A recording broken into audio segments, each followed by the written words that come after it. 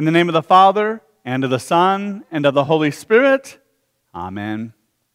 O Lord, open my lips, and my mouth will declare your praise. Make haste, O God, to deliver me. Make haste to help me, O Lord. Glory be to the Father, and to the Son, and to the Holy Spirit, as it was in the beginning, is now, and will be forever. Amen.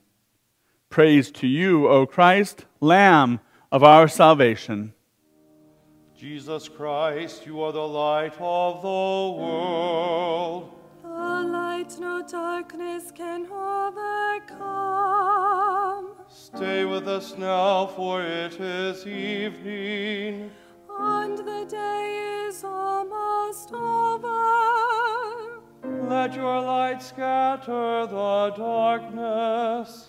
And shine within your people here.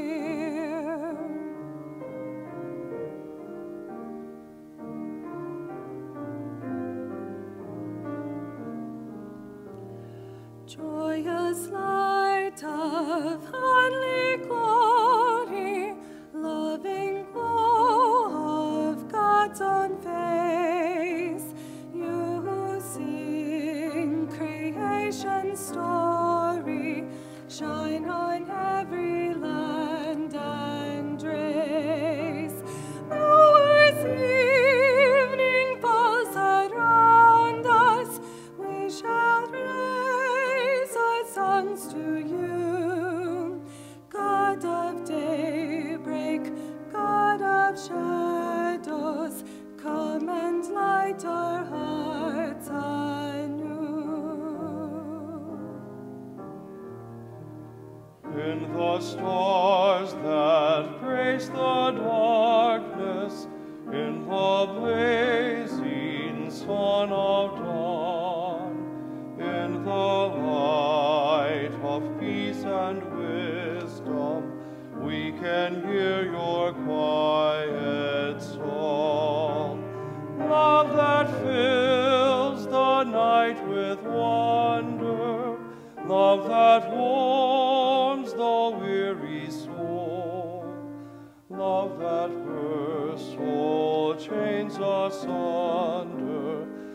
us free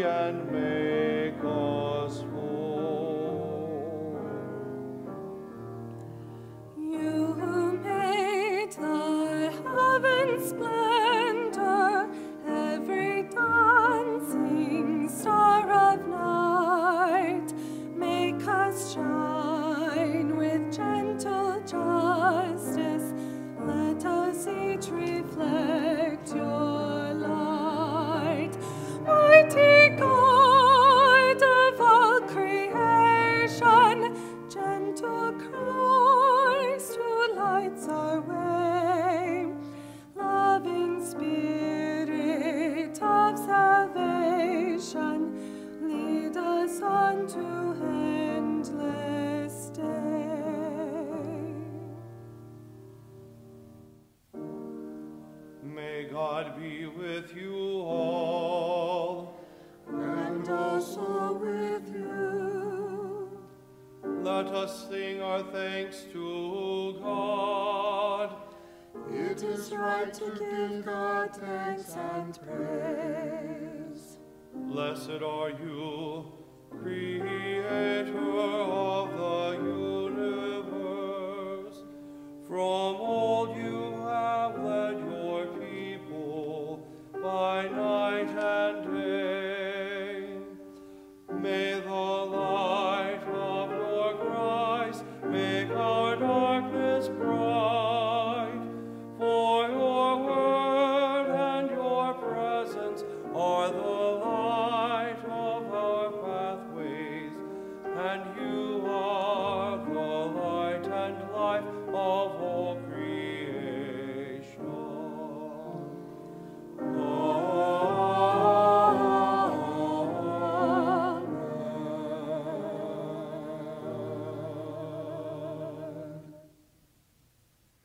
reading from Psalm 64.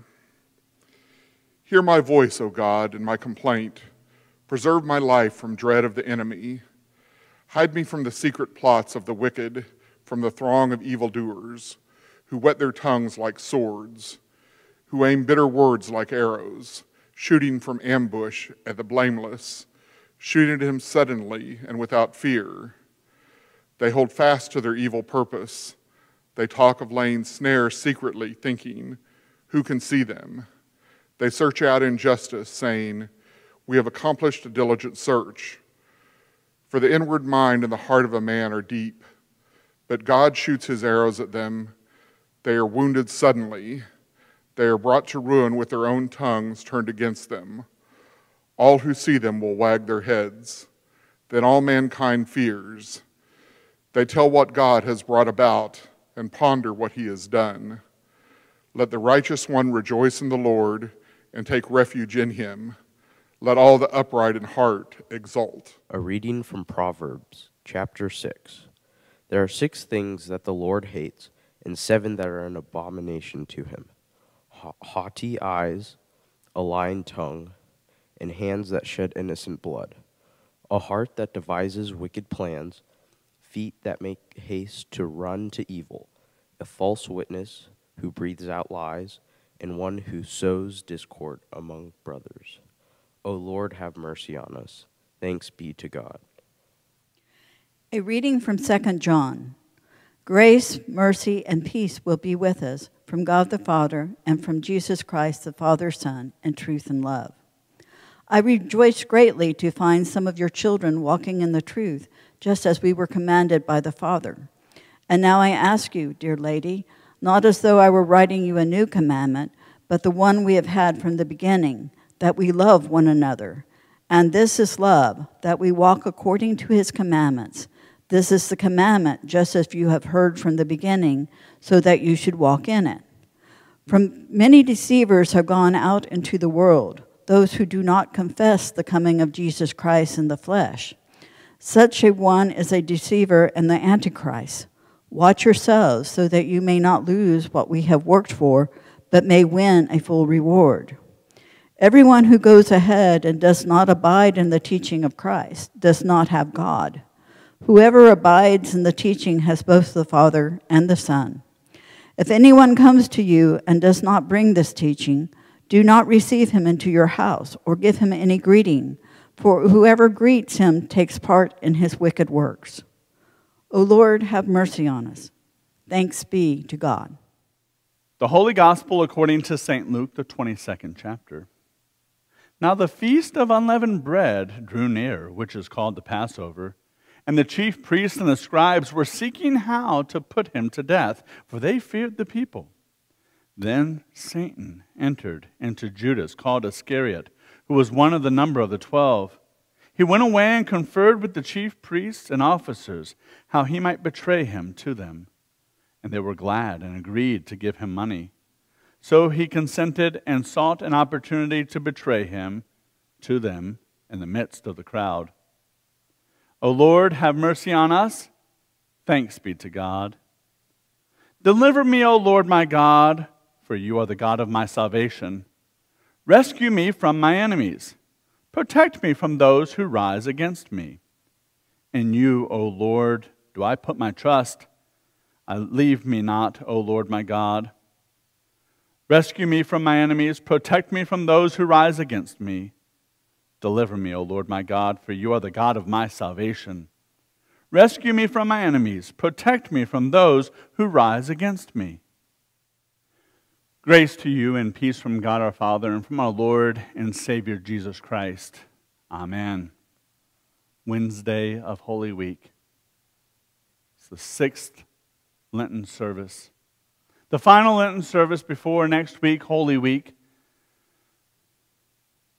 And the plot, the plot has been set.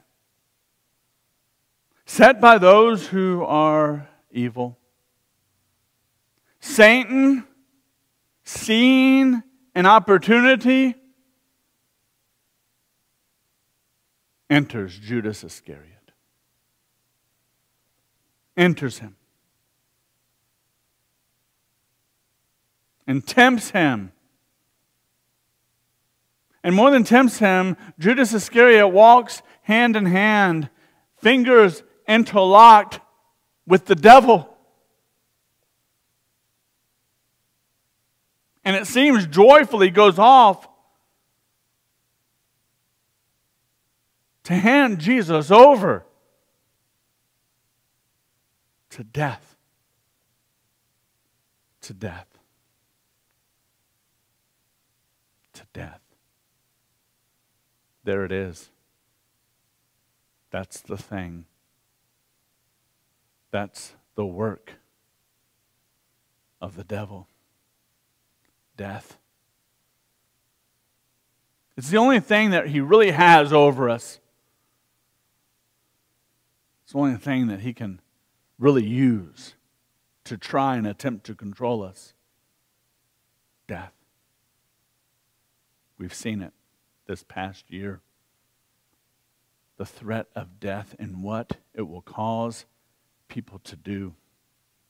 The threat of death and what it will cause and how it will cause people to act. The attempt to control in the face of death. And so Satan walks with Judas, and Judas walks with Satan. And they're going to betray, Judas is going to betray Jesus. Tomorrow, the Thursday of Holy Week, Maundy, Thursday, betray Jesus with a kiss of all things. Jesus knows. He knows the plot.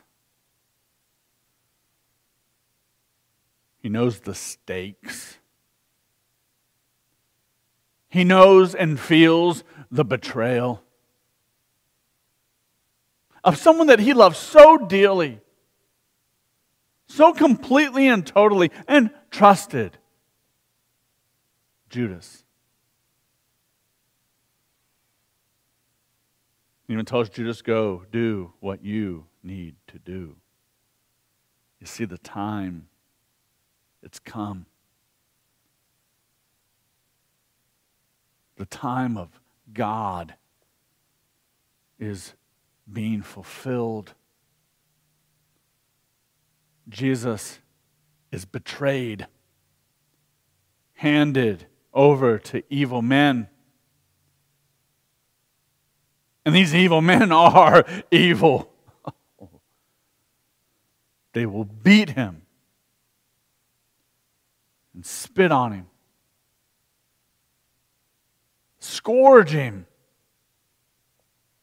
flail him, open his skin, put a crown of thorns on him in a, and a purple robe, mocking him. All Jesus ever did was love, teach, preach heal, and perform miracles, and threatened, threatened by his authority, they plot.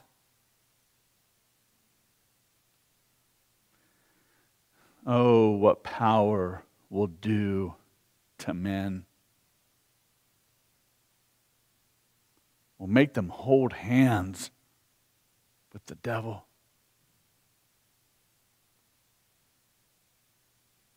Jesus is not about the world's power. He's about God's power. Jesus is not interested in the world. His love is for his Father. And his task is clear. It is crystal clear. He will suffer and die for sins. He will suffer and die for sinners, for you and for me. As we approach this Holy Week, we are reminded of the sacrifice,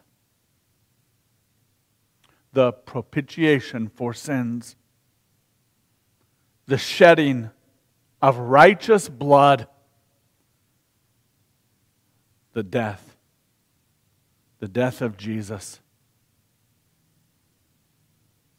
and that glorious, glorious resurrection through which we now have life everlasting. The devil will never hold hands with us again. And we will never hold hands with him again. We have repented, we have turned, and we hold the hand of our loving Lord and Savior Jesus Christ, and he holds our hand. And that, Lord, that, brothers and sisters in Christ, is called faith. Jesus holding our hand and leading us down paths of righteousness for his name's sake. The devil, you no longer have any power over us because you have been defeated. Sin has been defeated. Death has been overcome. And you, your power, Satan, is no more. We stand and live in the power of God through Jesus Christ, and that is the forgiveness of sins. We are reconciled to God. In the name of the Father, and of the Son, and of the Holy Spirit. Amen. An angel went from God to a town called Nazareth to a woman whose name was Mary. The angel said to her, Rejoice, O highly favored, for God is with you.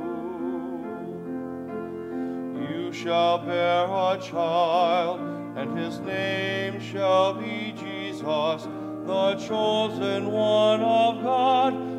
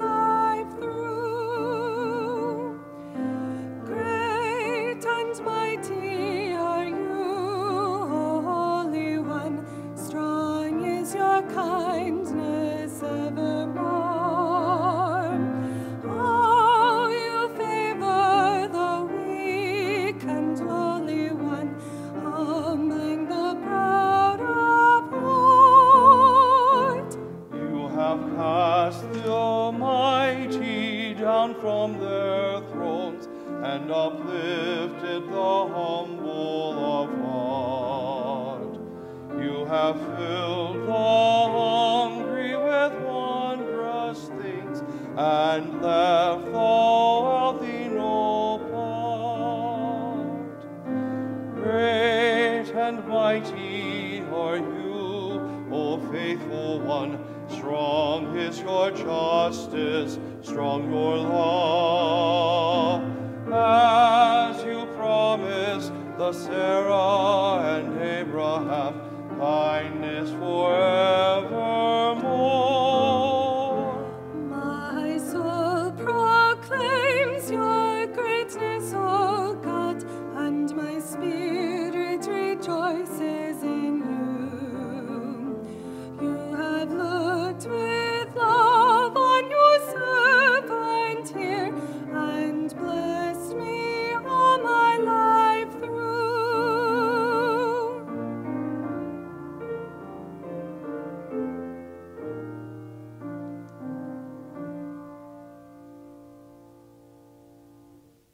Lord, have mercy. Christ, have mercy. Lord, have mercy. O Lord, hear my prayer, and let my cry come to you. Merciful and everlasting God, you did not spare your only Son, but delivered him up for us all to bear our sins on the cross. Grant that our hearts may be so fixed with steadfast faith in him that we fear not the power of sin, death, and the devil through the same Jesus Christ our Lord, who lives and reigns with you in the Holy Spirit, one God, now and forever. Amen. Lord Jesus Christ, you were betrayed by one of your own disciples and handed over to death. Forgive us for the times that we have betrayed you and deceived others for the sake of selfish gain, so that we might pick up our cross and follow you on the road to Calvary. For you live and reign with the Father and the Holy Spirit, one God, now and forever. Amen. O God, from whom come all holy desires, all good counsels, and all just works, give to us, your servants, that peace which the world cannot give, that our hearts may be set to obey your commandments, and also that we, being defended from the fear of our enemies, may live in peace and quietness through Jesus Christ, your Son, our Lord, who lives and reigns with you in the Holy Spirit, one God, now and forever. Amen. Our Father, who art in heaven, hallowed be thy name. Thy kingdom come, thy will be done, on earth as it is in heaven. Give us this day our daily bread, and forgive us our trespasses, as we forgive those who trespass against us. And lead us not into temptation, but deliver us from evil. For thine is the kingdom, and the power, and the glory, forever and ever. Amen. Let us bless our God. Praise and thanks to